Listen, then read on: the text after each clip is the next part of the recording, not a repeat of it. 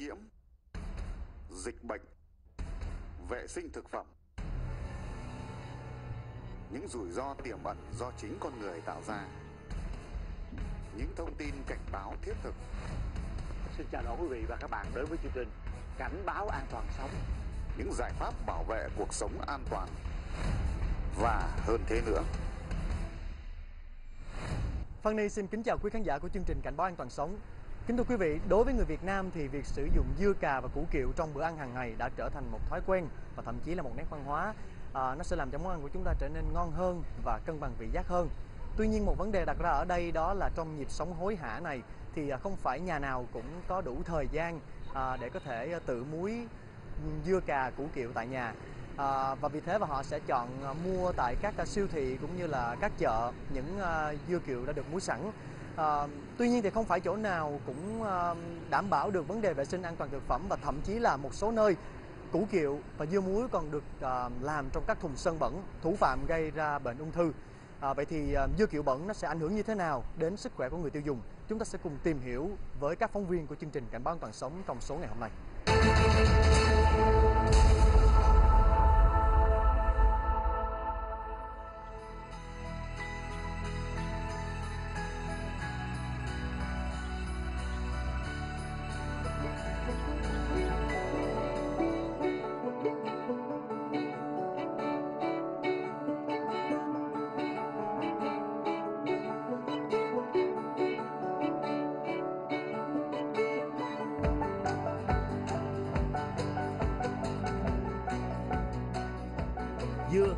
Cà, củ kiệu muối là món ăn quen thuộc trong bữa cơm hàng ngày của nhiều hộ gia đình Việt Nam.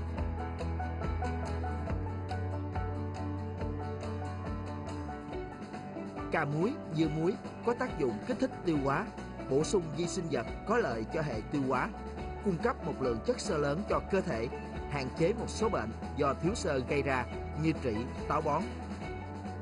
Cải chua, củ kiệu là món ăn kèm giải ngán cho những món ăn có nhiều dầu mỡ, kích thích vị giác và tạo sự ngon miệng. Xong, thực phẩm nào cũng vậy, nếu ăn quá nhiều sẽ ảnh hưởng đến sức khỏe vì trong quá trình ngâm, cải đã mất hết dinh dưỡng vốn có. cô cũng thường ăn ờ, cái cái dưa cà ngoài chợ lắm nhưng cô ăn cô cũng ngại lắm thường đi tìm những cái chỗ mà quen biết để mua thôi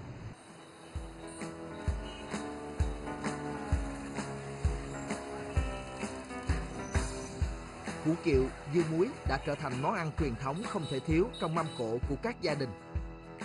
Tuy nhiên, rất nhiều người sẽ phải kinh ngạc khi chứng kiến quy trình sản xuất không đảm bảo vệ sinh an toàn thực phẩm ở nhiều cơ sở.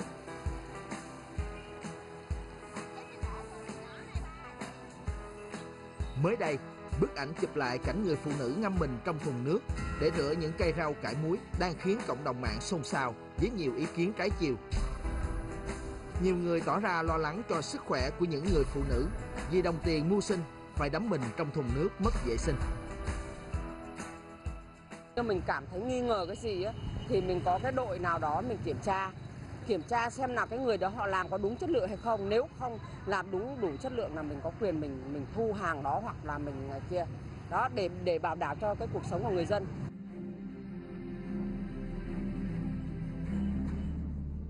Muối dưa, kiệu thường mất 1 đến 2 tuần, dưa cà thì mất khoảng 3 đến 4 ngày. Nhưng thực tế hiện nay, có những cửa hàng cho cải xanh vào lọ để ngay tại sạp và khoảng 6-7 tiếng sau, lọ dưa đó đã vàng bán ngay cho khách. Cũng theo thông thường, sau khi muối dưa khoảng một tuần, thường thấy chúng nổi dáng. Nhưng nếu mua dưa cà ngoài chợ, thì sẽ thấy loại dưa để cả tháng cũng không có chút dáng nào. Theo những người bán hàng ở chợ rỉ tai nhau vì một loại hóa chất có tên là axit chanh dùng để muối dưa, muối kiệu. Khi dùng hóa chất này, dưa kiệu sẽ chín nhanh, có vị chua và ngon hơn khi muối bằng thủ công truyền thống. Nhóm phóng viên cảnh báo an toàn sống đã tìm đến chợ Kim Biên để tìm mua loại hóa chất này và xem thật hư ra sao. Cải chua, cải chua. Còn đó bán sao cô? cái đó là bột á Một á hả? Cái đó pha cái nước ra là nó nó chua mà cái đó mình cái đó bao nhiêu ký? ba chục ngàn ký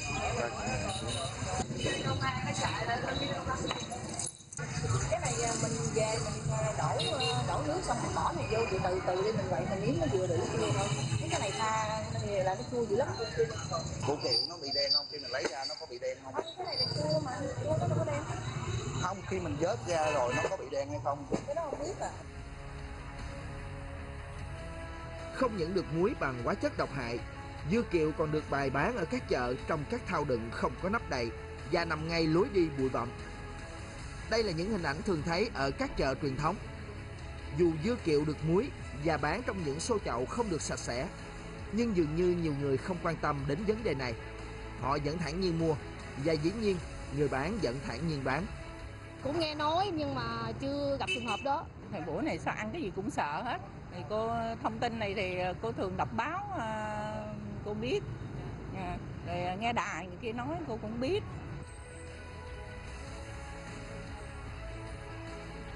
Không những được đựng trong chậu thau cấu bẩn, đầy ruồi nhặn và khói bụi. Nguy hiểm hơn, dưa kiệu còn được muối trong những thùng sơn đã qua sử dụng. Đã có nhiều cảnh báo nguy hiểm tới sức khỏe khi sử dụng thùng sơn, thùng nhựa muối dưa cà, gây rất nhiều nguy hiểm đến sức khỏe của người tiêu dùng. Bởi chúng còn lưu lại các chất phụ gia, tạo màu, dung môi từ sơn. Các chất độc này sẽ ngấm vào dưa cà. Nếu dùng lâu dài có thể đối mặt với nguy cơ mắc bệnh, thậm chí là ung thư. tôi cũng có thắc mắc ở trong đầu trong đầu là không biết là nó có đảm bảo vệ sinh hay không và uh, tôi cũng lo ngại về cái chất lượng của nó nhưng mà tôi hoàn toàn không biết là uh, nếu mà đặt những cái sản phẩm đó trong thùng sơn thì nó sẽ gây ra những cái bệnh nguy hiểm cho sức khỏe Khi làm dưa cà với số lượng lớn, người bán không rửa kỹ nên còn tồn dư nhiều thuốc sâu, hóa chất độc hại.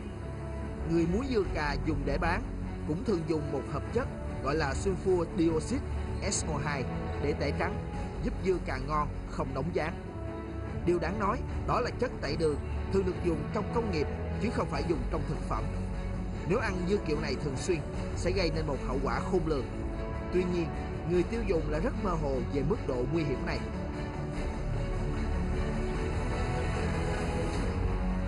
đọc báo cũng nghe một số người thân quen nói là những cái sản phẩm dưa cà bán ở chợ thì người ta có sử dụng các cái chất tẩy trắng cũng như là những cái chất gì đó mà có thể bảo quản nó được lâu hơn ngon hơn nhưng mà tôi không có biết là những cái chất tẩy trắng đó nó sẽ uh, dẫn đến những cái bệnh gì hết hoàn toàn không biết về cái thông tin đó Tôi hàng ngày tôi đi chợ, tôi thấy cái chị này chị bán hàng ngon, hàng đúng, hàng không cho cái này, không cho cái kia tôi mua.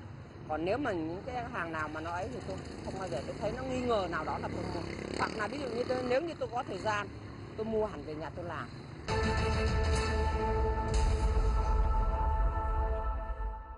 Thưa quý vị, rõ ràng qua phóng sự vừa rồi chúng ta cũng thấy được những cái tác hại nếu như sử dụng à, dưa kiệu bẩn à, gây nguy hại cho sức khỏe người tiêu dùng như thế nào. Và để trao đổi hơn về vấn đề này, chúng tôi đã mời đến trường quay bác sĩ Đào Thị Yến Thủy đến từ Trung tâm dinh dưỡng Thành phố Hồ Chí Minh. Xin được chào bác sĩ Yến Thủy. Chào Đình Tấn, xin kính chào quý khán giả. Thưa bác sĩ thì trong ngày Tết thì việc sử dụng à, dưa kiệu à, là một cái món ăn kèm giúp cho à, cái khẩu vị nó được ngon hơn. Tuy nhiên nếu như sử dụng những cái dưa kiệu bẩn và không đảm bảo vệ sinh an toàn thực phẩm thì sẽ gây ra những cái nguy hại đến sức khỏe như thế nào cho người sử dụng? À, đúng như Tuấn vừa nói á, à, trong cái bữa ăn ngày Tết thì thường béo nhiều hay là thịt nhiều? Thì nếu mình ăn một cái gì chua chua nó sẽ là ngon và nó thôi làm cho mình đỡ ngán đi ha. Và những cái món mà như kiểu chua hay là dưa cải chua thì thường là được làm trong những ngày Tết này. À, làm được trước Tết nữa để chuẩn bị cho những ngày Tết được đầy đủ. Thì à, nếu mà mình sử dụng mình mua ở bên ngoài à, thì có thể có một số những cái nguy cơ. À, chẳng hạn như là cái dưa chua đó à, thì họ không có rửa sạch. À, là nó sẽ sẽ còn tồn động thuốc trừ sâu đúng không? Mà thuốc trừ sâu thì à, mình không khi mình ăn vào thì nó sẽ à, làm cho mình có cái tình trạng có thể là ngộ độc cấp tính. Nếu mà cái những cái loại thuốc trừ sâu mà có cái à, tác động mà cái liều lượng quá cao đó, thì nó sẽ làm cho mình đau bụng nôn ói tiêu chảy. Với cái hàm lượng cao mà còn tồn động thì nó lại tích tụ trong cơ thể và gây ra tình trạng như là viêm ruột mãn hoặc là những cái tình trạng ung thư sau này à, có thể xảy ra nếu chúng ta dùng thường xuyên và liên tục kéo dài. À, rồi à, à, với cái dưa cải chua chẳng hạn thì nó có một cái đặc tính là à, khi mà nó còn hăng hoặc là khi nó nó bị bị chua quá nó chỉ khú nó chảy nhựa rồi á thì nó lại có cái đặc tính là rất là nhiều cái chất nitrit ở trong đó. Và nitrit này thì nó có thể là ức chế cái hô hấp do là nó à, làm cho cái à, hồng cầu của mình nó không gắn với oxy được làm cho mình giống như là khó thở như vậy. Thì à, nếu mà cái nitrit nhiều quá thì nó không có tốt cho sức khỏe. À, tại vì nó làm cho hồng cầu mình không có trao đổi oxy được. Thì như vậy nó sẽ làm cho mình thiếu oxy và nó ảnh hưởng đến hoạt động của cơ thể mình. À, vì vậy mà à, chúng ta chú ý là ăn dưa cải chua thì chỉ ăn cái lúc mà nó vừa chín vừa chua rồi. Chứ lúc nó còn hăng hoặc là lúc nó hú quá thì chúng ta không có nên dùng nữa tại nó sẽ ảnh hưởng đến sức khỏe. Và đặc biệt là với trẻ em ha, trẻ em thì cái hàm lượng máu ít cho nên nếu mà mình ăn nhiều những cái loại này mà còn hăng còn nhiều nitrit thì nó sẽ không có lợi à, đặc biệt là ảnh hưởng à, rất là xấu đến sức khỏe của em bé mình. Đối với những cái loại mà củ kiệu á, thì à, nếu mình mua bên ngoài thì sẽ có nguy cơ là chất tẩy trắng đúng không? Thì chất tẩy trắng thường hay sử dụng là à, cái uh, oxit uh, sulfur là SO2 á. Thì chất này nếu mà dùng ít cái hàm lượng vừa phải thì nó không ảnh hưởng đến sức khỏe. Nhưng mà nếu dùng cái hàm lượng cao thì nó sẽ gây kích ứng chẳng hạn nó gây cái kích ứng cái niêm mạc à, mũi hầu họng. Thậm chí hắt hơi nhiều nè sẽ hay rát ở vùng mũi hoặc là rát ở vùng họng. À, nuốt đau chẳng hạn đó, hay có thể là gây tình trạng viêm họng. À, mình sẽ ho, ho để mà, là tống sức đàm chẳng hạn. Rồi à, nếu mà cái hàm lượng quá nhiều thì có thể gây chết ngạt do cái mùi lưu huỳnh rất là nồng nặc. À, đối với trường hợp mà người ta cái muối cho nhanh để cho bán cho nhanh á, thì người ta có thể dùng cái axit citric hay là bột chua là để mà tạo điều chỉnh cái độ pH và giúp cho chống cái sản phẩm nó chống oxy hóa là nó sẽ nhìn nó nó nó xanh nó đẹp mà nó không có bị vàng đi á thì à, à, cái chất này thì à, nếu mà dùng nhiều quá thì nó cũng có thể làm cho mình à, dễ bị đau bụng tiêu chảy à, à, tại vì nó thay đổi pH nhiều rồi thậm chí những người mà bị viêm loét dạ dày tá tràng á, thì có thể làm tăng nặng cái cơn đau tại vì tăng cái độ axit quá nhiều. Dạ vâng. À, ngoài ra thì còn có một cái vấn đề như là dưa kiệu mà muối trong trường hợp là nổi ván vàng hoặc là nấm đen thì à, xuất hiện một cái vi khuẩn à, vi nấm độc hại à, gọi là vi nấm Aspergillus. Thì theo nghiên cứu khoa học thì là cái vi nấm này sẽ sản sinh ra một độc tố tên là alpha toxin thì thưa bác sĩ thì cái độc tố này sẽ gây cái nguy hại đến cho cái sức khỏe của người sử dụng. Cái độc tố này thì nó sẽ gây nên cái tình trạng là ung thư gan ha, cái điều này đã được xác định rồi tại vì nó đã tác động trực tiếp vào trong gan và gan mình không có chỉ dung hóa được cái độc tố này. À, và lâu dài thì nếu mà ăn thường xuyên liên tục à, thì sẽ à, bị ung thư gan. À, cho nên chúng ta phải chú ý là đối với những loại mà à, nó nổi mốc lên rồi thì chúng ta nên bỏ không nên dùng nữa. Dạ vâng. Thưa bác sĩ thì một cái tình trạng dễ thấy hiện nay tại các cái uh, bán ở các cái khu chợ hoặc là những cái nơi không đảm bảo là người ta thường lưu giữ các cái uh, dưa kiệu muối trong những cái thùng sơn cũ về vì nó vừa rẻ mà lại tiện dụng nữa thì nếu như dùng những cái vật dụng như là thùng sơn cũ để mà muối dưa hoặc là giữ dưa như vậy thì nó sẽ có một cái tác động gây ra một cái phản ứng gì nó không tốt đến cho sức khỏe người dùng không ạ? À, mình biết rõ ràng là cái khi mà mình ngâm nước với cái lớp sơn như vậy thì cái sơn đó nó sẽ thôi nhiễm vào trong cái nước hòa tan đó và thôi nhiễm vào trong cái thực phẩm những cái dưa cải chua của mình. Thì à, cái sơn đó thì nó sẽ có hóa chất nó có màu ha và nó sẽ à, ảnh hưởng đến sức khỏe của người tiêu dùng nếu chúng ta dùng. Chẳng hạn một số những cái màu à, công nghiệp mà để mà mà sơn cái màu đó là màu công nghiệp không được sử dụng trong thực phẩm. Nếu chúng ta sử dụng sẽ bị ngộ độc. Rồi những cái hóa chất hòa tan những cái dung môi à, những cái axit nó sẽ hòa tan cái cái phần chất cái sơn đó ra nữa càng làm cho nó thấm vào trong cái thực phẩm của mình. Thì như vậy ăn rất là nguy hiểm cho sức khỏe. Ngộ độc là ít nhất là cơ thể của chúng ta còn thải ra được ngoài. Còn một số hóa chất có thể nó lắng động vào trong cơ thể và à, lâu dài nó sẽ dẫn đến những cái rối loạn tiêu hóa à, mãn tính hoặc là à, thậm chí có thể ung thư nếu mà mình nhiễm độc hóa chất. Dạ, xin được cảm ơn những chia sẻ của bác sĩ đối với các khán giả của chương trình Cảnh báo an toàn sống. Lời khuyên dành cho khán giả. Tuyệt đối không mua dưa, kiệu được dùng trong những thùng sơn, xô, chậu nhựa công nghiệp. Nên ăn dưa kiệu khi đã chín Không nên ăn dưa kiệu muối sổi vì chứa nhiều chất độc hại. Để đảm bảo an toàn sức khỏe Nên tự muối dưa kiệu để ăn vì việc muối dưa kiệu cũng rất đơn giản, không cầu kỳ phức tạp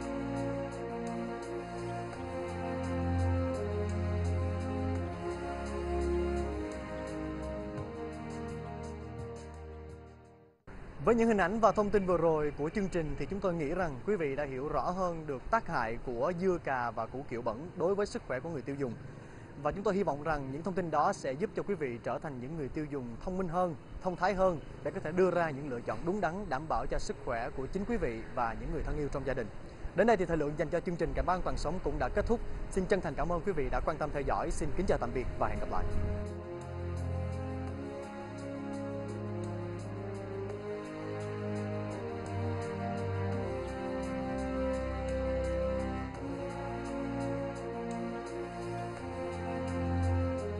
Ông đưa về trụ sở công an phường làm việc.